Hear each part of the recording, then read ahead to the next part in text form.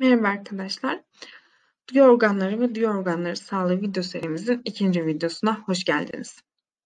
Bu videomuzda sizlerle kulak nedir, kulak yapısı ve işitme olayından bahsedeceğiz.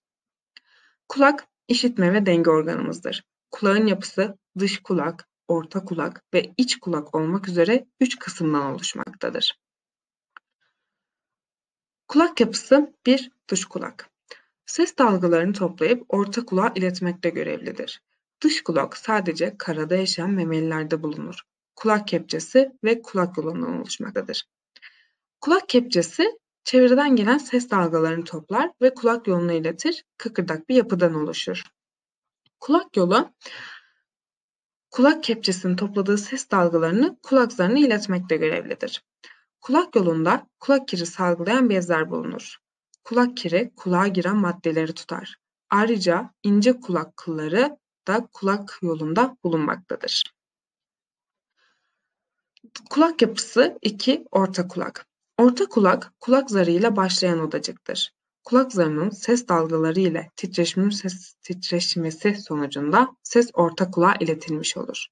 Orta kulak kemikleri kulak zarından aldıkları titreşimleri 15-20 kat arttırarak iç kulağa açılan oval pencere iletir. Kulak zarı, kulak yolunun sonunda orta kulak ile dış kulağı birbirinden ayıran kulak zarı yer alır.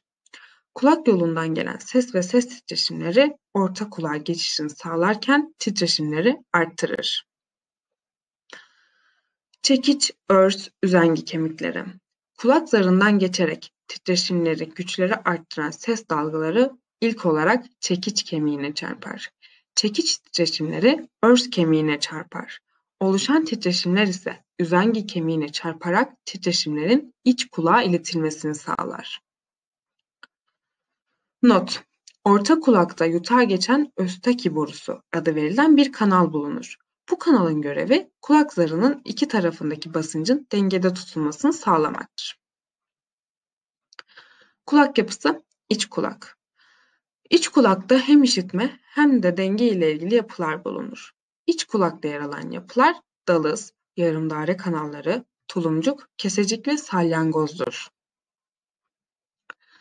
İç kulakta bulunan yarım daire kanalları ve bu kanallar içerisinde bulunan kesecik ve tulumcuk yapıları dengeden sorumludur. İç kulakta bulunan dalız ve salyangoz işitmeden sorumludur. Asıl işitme organı olan korti salyangoz organımızda bulunur.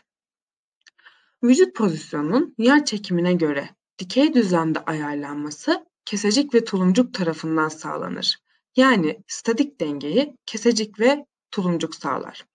Dönme ve hızlanma, yavaşlama gibi hareketlerde vücut pozisyonunun korunması yarım daire kanalları ile sağlanır. Yani dinamik dengemizi sağlayan yapı ise yarım daire kanallarıdır. İşitme olayı. İlk olarak kulak kepçesine gelen sesler kulak yoluna iletilir.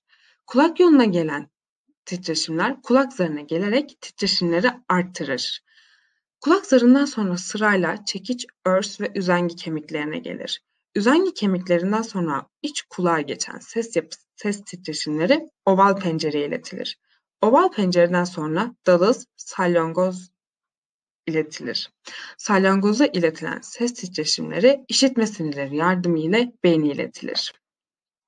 Dinlediğiniz için teşekkürler.